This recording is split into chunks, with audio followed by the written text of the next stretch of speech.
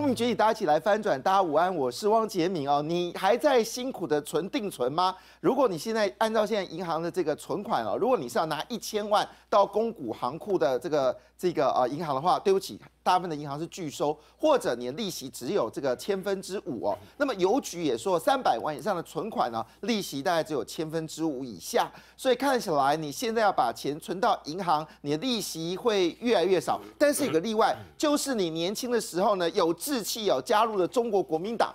那么，而且最好是能够加入中国国民党的这个救国团或者中国国民党的民众服务社，为什么呢？因为呢，你的党职可以并公职，哎，领几趴利息，漂亮，十八趴。那么根据这个媒体说法，有一个人叫连战哦，是不是他这个党职并公职就一一个月可以多领五万块呢？是不是？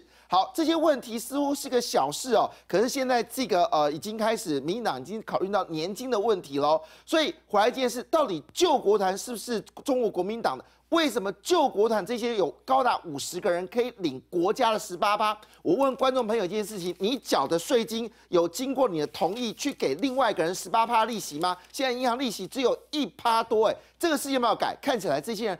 高达将近有三百人以上，这群这些所谓的权贵们，他们在年轻的时候加入了中国国民党，现在可以领你口袋的纳税金，可以领你口袋的纳税金哦，不用经过你同意，你的税金就被人家利息钱高领的这个这个预付的金额超过了，在二零一七年超过三点四亿元，就为这些高官哦，那么更不用说十八趴，将来在未来两年当中会让我们的国库减少。一千亿元，好，马英九没有感觉哦，但是问题是台电有没有感觉呢？我们看一下台电到底是麻木了吗？还是台电就是一个烂机构？为什么这么说呢？哎，核一厂员工误触开关啊，一点六亿元就没有了。昨天晚上呢，我的老东家，我的家乡啊，这个中油哦。哎呀，这公安烂到不行，半夜又发生重大的公安事件。陈局说：“哎呀，我们的公股公股这个中油台电是什么？是阵亡了吗？好，政党轮替到底就会让这些公股的这些所谓的我们国家的这些企业都要出问题吗？马英九很开心吗？好，我们继续往下看哦。马英九可能真的很开心啊，因为呢，他完成不了的事情哦，要这个副总统出来，未来副总统领军呢，要做新政府的年金改革。”那么希望未来在一年当中呢，就看到初步的成果。不过前途漫漫呢？为什么？因为紫光这件事情恐怕已经搞了三十年还搞不定。什么？什么？你的你的税金交给党职人吗？你的税金哦，竟然透过十八趴给。中国国民党党职的人，你可以接受这件事情吗？仔细名单一看，哦，还有吴伯雄，哎，伯公，哎，伯公不是桃园的大家族吗？哇，拥有这个桃园的这个汽车、土地，各式各样的行业。他也贪你这个利息，贪你这个利息钱呢？他也贪你这个利息钱吗？好，另外就是还有包括像关中，哎，关中不是搞年金的吗？他也贪你这个利息钱，而且贪的是十年的资历耶。那另外一个人大家都知道，台湾首富之一哦，他叫连战哦，在胡润虽然他否认哦，胡润集团说他身上身价高达三百多亿元，十亿美金哎，哎，他也贪你的税金变成他的利息钱，这些人。是台湾的这个年金破坏者的元凶，关中是搞年金的，结果八年的时间一事无成呢。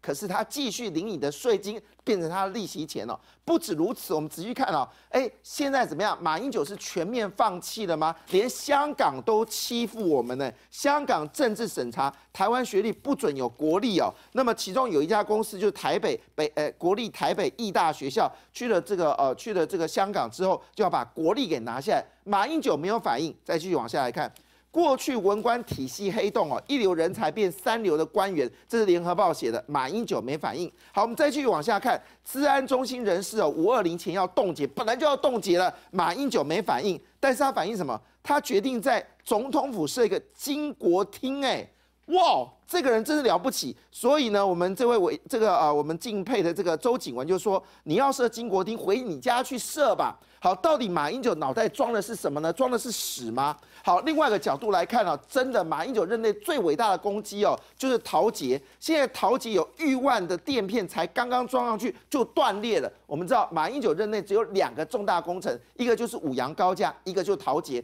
陶杰恐怕要开动的情况下，恐怕很困难了。马英九这些烂事一大堆，他到底在想什么呢？好，这时候蔡英文出现了。蔡英文说什么体制能够帮台湾脱困脱困呢？好，蔡英文真的很辛苦在想这个事情。哎，奇怪了，这个怎么就发生这件事情？洪其昌因为跟苏琪走太近，遭新系除名，这是怎么样？是这个呃，民进党内斗开始产生的吗？不止如此哦，哎，吴乃仁、林文渊。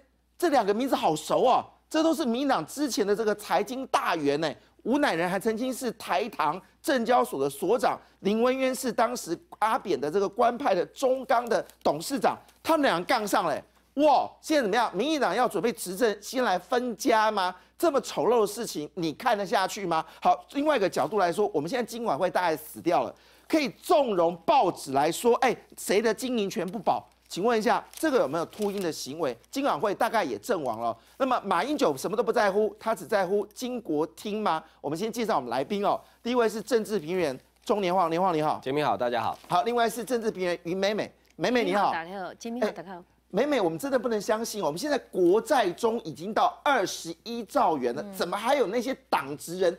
厚颜无耻的继续吸国家的纳税钱啊！所以啊，国库后方吃紧啊，可是国民党这些人在前方继续紧吃国家，对不对？那国民党还要提出什么什么总统什么不当财产，然后再做反制，然后党职并公职，说救国团不是赋水组组织，可是要党职并国组织，为什么有五十个人可以党对党职并公职的时候，哎，就算了。好，所以是不是国民党说一套做一套呢？永远不能改革吗？好，另外是台北市议员王世坚，世坚玉你好，前面好。大家好，世间呢？我们太阳花世界好像每个人都升官了，升官，这还有人去屏东县当这个警察局长啊。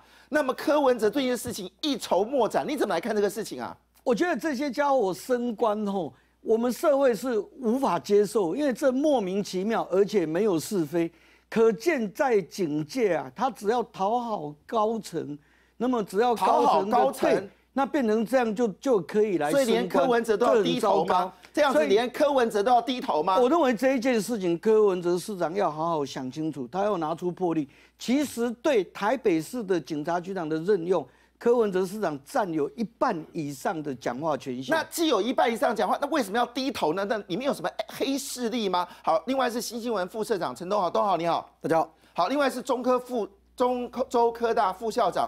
欧崇进，欧老师你好，大家好。欧老师，我们真的不能理解，你现在现在在学校，有些学校他就可以党职并公职，你们私立学校的学的这些老师们苦哈哈，为什么一个国家有两种制度啊？我跟大家报告，我们可能这个年资三十年了，如果没有月退俸的话，就只有三百多万。的退休金三百多万活就一次就没有了。几岁？几岁？几岁？三十年。三十年，所以你大概差不多，如果是三十岁进去当教职，六十岁退休，不小心活到八十年，未来二十年就有三百万可以活。对，但是呢，私立学呃国立学校，它只要十五年，它的月退俸呢，它就是四万多以上。这是什么样的世界啊？好，另外是资深媒体人蔡玉珍，玉珍你好，姐妹好，大家好。我们现在今晚会是阵亡了吗？呃，金管会有很多事情，你看这个呃曾明忠的表现，你就知道了。他呢在当主委的时候，他也没有跟社会大众一个基亚当时发生什么事情的交代。哎，他现在当了立委之后，他跟王丽玲说，你要把号顶查清楚。哎，那当时你为什么不查清楚？所以我们的金管会哦，从来没有真的做做对事情。你看曾明忠，原来大家评价那么高。那现在去当了立委，又换了脑袋，你就知道说我们的金管会没救了。好，所以我们真的不知道上市公司到底应该该归谁管呢？金管会没有责任吗？泰山的经营权竟然让媒体来炒作，我们的政府机构是都阵亡了吗？我们先进个广告。